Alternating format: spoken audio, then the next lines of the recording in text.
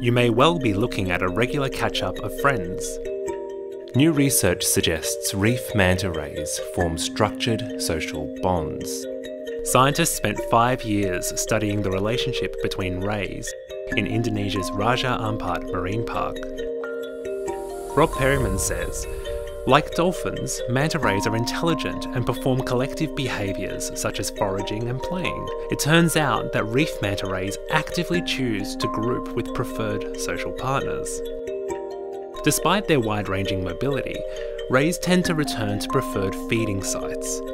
The researchers say that's where they develop social bonds. Rob Perryman says these interactions seem important to the structure of their populations. Understanding social relationships can help predict manta ray movements, mating patterns, and responses to human impacts. These smaller social groups form part of wider communities. The study identified two such communities in the marine park.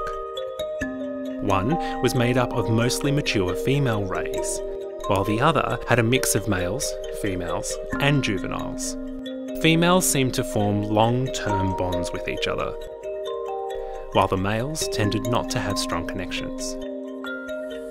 Dr. Andrea Marshall says knowing how mantas interact is important, particularly in areas where they are susceptible to increasing diving tourism.